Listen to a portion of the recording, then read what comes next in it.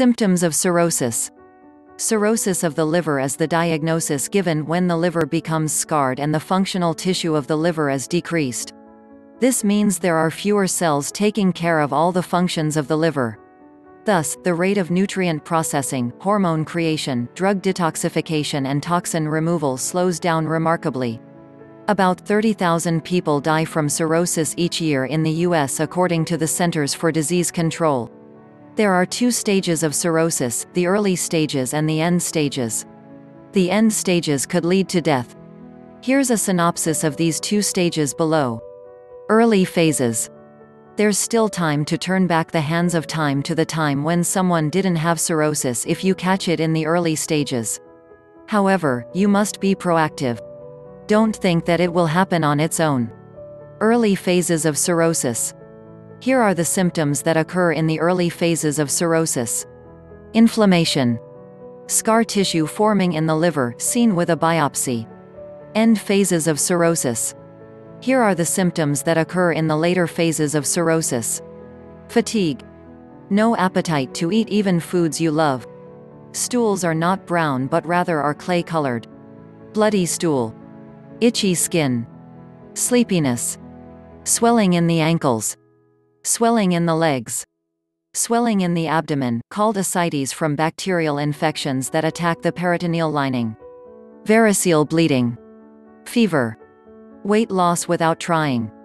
Bleeding, due to the liver's inability to handle the production of clotting factors. Urine appears dark-colored, either orange or brown. Urination is less than normal.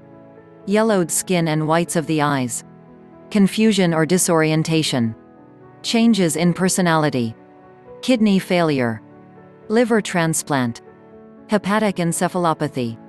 Liver cancer. Enlarged spleen. From this symptoms list, you will see that there are very few symptoms in the early stages of cirrhosis. When the condition progresses, that's when all the symptoms come. Ascites is when the abdomen enlarges so much that breathing may be affected. It occurs when albumin levels are too low and when the pressure in the liver's blood vessels is high. The type of kidney damage that occurs is reflected in the dark urine. Urinating less than usual, swelling of the abdomen, jaundiced skin, confusion, nausea and vomiting. These changes occur because the kidneys are not getting their usual blood flow. As a result, they cut back on their own blood flow. The veins enlarge as an adaptation to the high pressure in the portal arteries. This may occur in the esophagus or the stomach. This is called the production of varices. The walls of the affected blood vessels become thin and twist, appearing as a snake. The stools may turn black when this happens because there is internal bleeding. Encephalopathy of the liver also occurs because of a buildup of toxins that should have been detoxified but weren't due to the inability of the liver to detoxify itself. One of them is ammonia, and when it accumulates in the brain, it can lead to confusion, personality changes, and coma.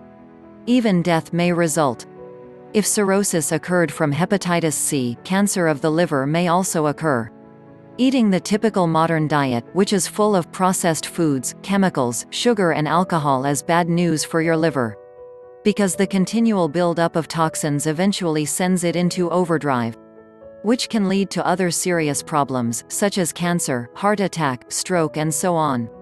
So if you're feeling sluggish, have poor health, and are feeling drained from energy, there's a good chance you're suffering from fatty liver.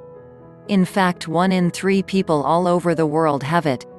But don't worry it's easy to rectify the problem with fatty liver remedy. It's a step-by-step -step program that reverses the damaging effects of a fatty liver and because it's all natural it's safe to use. Check out the link in the description to learn more about the fatty liver remedy.